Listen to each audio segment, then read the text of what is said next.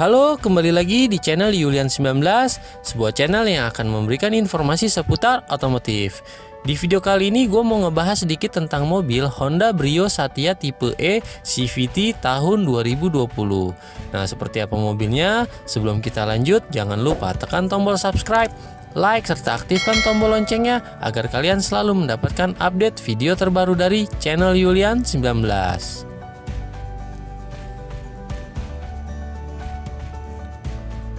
Honda Brio Satya tipe E CVT 1200cc tahun 2020. Ini dia ya guys, tampilan depannya bisa dilihat sekilas masih sama dengan model yang sebelumnya ya, tidak ada perubahan. Nah, pada bagian grillnya ini juga sudah ditambah dengan aksen chrome supaya terkesan lebih elegan. Pada bagian headlampnya ini masih menggunakan halogen, juga sudah terdapat lampu sen dan juga sudah terdapat lampu senja LED berwarna putih. Pada bagian bumper di bawahnya ini sudah terdapat fog lamp dengan covernya berwarna hitam ya.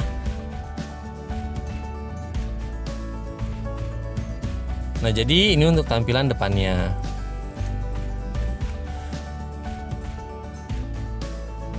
Pada spionnya ini belum dilengkapi dengan lampu sen dan juga belum menggunakan sistem retractable ya. Jadi masih manual untuk melipatnya.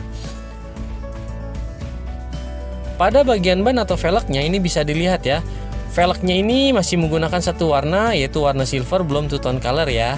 Dan juga untuk ukuran bannya ini menggunakan ukuran 175 per 65 ring 14 dan untuk sistem pengereman pada bagian depan ini sudah menggunakan sistem cakram.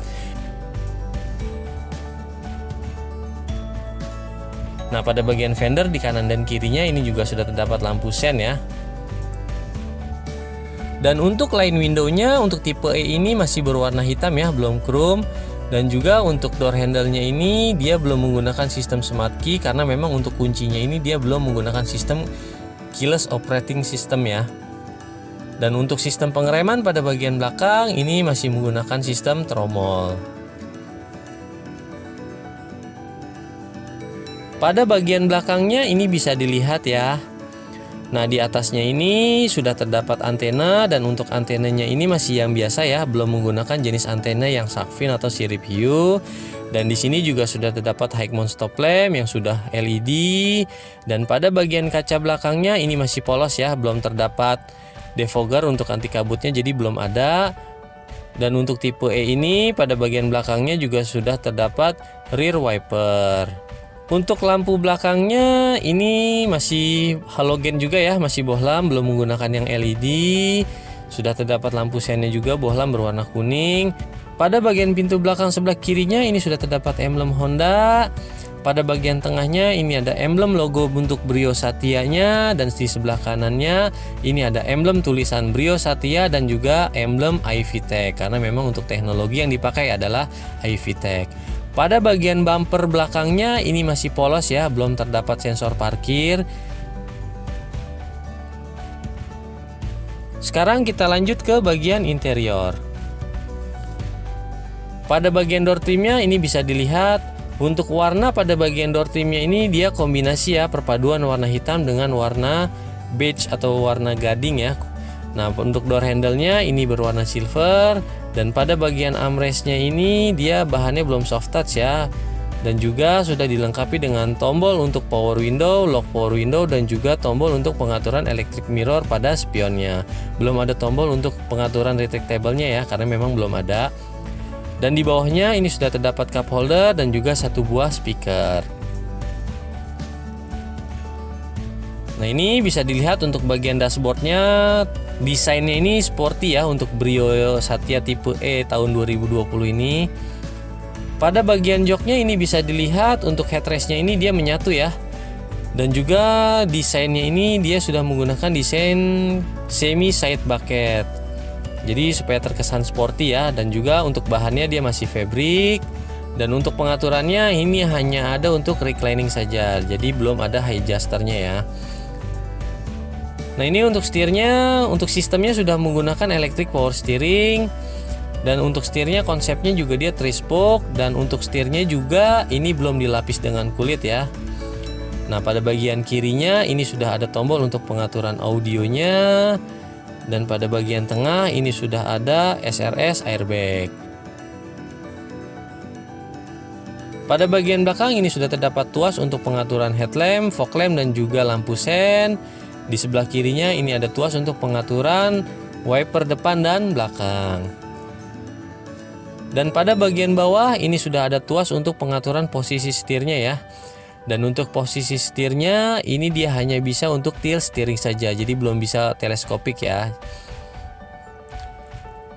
Nah ini untuk speedometernya bisa dilihat ya, sudah ada indikator eco drive-nya dan juga pada bagian tengahnya ini ada layar kecil untuk MID-nya ya. Pada bagian dashboard sebelah kanan ini sudah terdapat kisi AC dengan list berwarna silver dan juga sudah ada untuk pengaturan sistem buka tutup AC-nya. Nah ini sudah ada tempat penyimpanan, dan di bawahnya ini juga masih polos ya belum ada tombol-tombol pengaturan lainnya. Dan ini untuk lubang anak kuncinya ya meskipun belum menggunakan sistem keyless operating system tapi dia sudah menggunakan sistem immobilizer di bawah sini juga sudah terdapat tuas untuk membuka kap mesin. Dan di bawahnya lagi ini sudah ada tuas untuk membuka tutup tangki. Sekarang kita lanjut ke atas. Pada bagian atas sudah terdapat dua kisi AC dengan list berwarna silver. Dan di bawahnya sudah terdapat head unit. Dan untuk head unitnya pada tipe E ini dia belum menggunakan sistem yang touchscreen ya atau monitor. Tapi untuk head unitnya ini sudah double DIN dan juga sudah support untuk Bluetooth dan juga untuk USB. Di sebelah head unitnya ini sudah ada tombol untuk lampu hazardnya. Dan di bawahnya ini juga sudah terdapat untuk sistem pengaturan AC-nya dan AC-nya sudah digital ya. Hanya dia belum auto climate dan di bawahnya ini ada tempat untuk penyimpanan. Dan juga ini sudah terdapat untuk power outlet. Dan ini juga sudah terdapat dua cup holder. Nah ini untuk tuas transmisinya Matic dan menggunakan sistem teknologi CVT dan ini untuk handbrake-nya dan juga di bawahnya sudah terdapat cup holder. Pada bagian dashboard depannya ini juga sudah terdapat console box. Dan untuk sistem bukanya dia belum soft opening ya. Dan di atasnya ini sudah ada motif karbon dengan list berwarna silver dan juga sudah terdapat isi AC dengan sistem buka tutupnya ya. Nah di atasnya juga sudah terdapat SRS airbag pada bagian sun visor penumpang depan ini sudah terdapat vanity mirror. Dan untuk sun visor pada bagian driver juga sudah dilengkapi dengan vanity mirror. Nah sekarang kita lanjut di baris kedua. Nah ini bisa dilihat ya untuk bagian door trim di baris kedua. Perpaduan warnanya juga sama ya Kombinasi warna hitam dan juga beige atau warna gading ya. Nah untuk door handle-nya juga dia sudah warna silver Dan pada bagian armrestnya ini juga sudah terdapat tombol untuk pengaturan power window di baris kedua Dan juga sudah terdapat untuk chat lock-nya ya pada bagian bawahnya ini juga sudah dilengkapi dengan cup holder dan juga sudah terdapat satu buah speaker. Nah ini ya untuk jok di baris keduanya dia belum terpisah ya masih menyatu tapi sudah dilengkapi dengan tiga headrest dan untuk space di baris kedua ini juga cukup luas ya.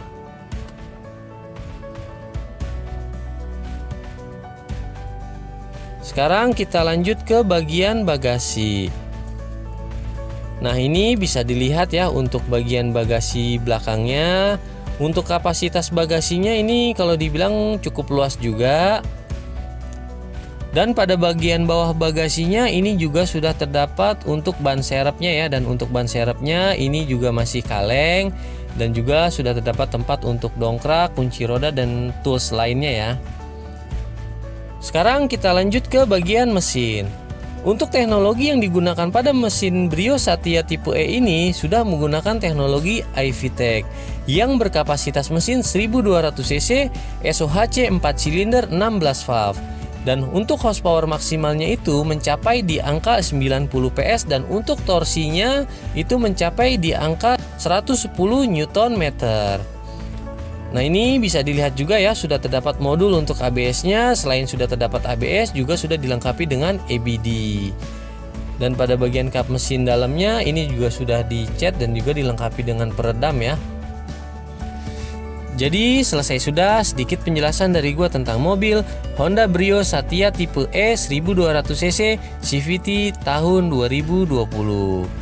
Nah, untuk spesifikasi lengkapnya, untuk harganya berapa, untuk promonya apa aja dan diskonnya berapa, kalian nanti langsung aja hubungin kontak person yang nanti bakal gue cantumkan di deskripsi di video ini. Kalau kalian hubungin, gue bisa pastiin kalian akan mendapatkan harga yang terbaik, promo yang terbaik, serta diskonnya yang besar buat kalian. Mungkin ini aja yang bisa gue jelasin. Jangan lupa tekan tombol subscribe like, serta aktifkan tombol loncengnya agar kalian selalu mendapatkan update video terbaru dari channel Yulian 19. Sampai ketemu di video selanjutnya. Dadah!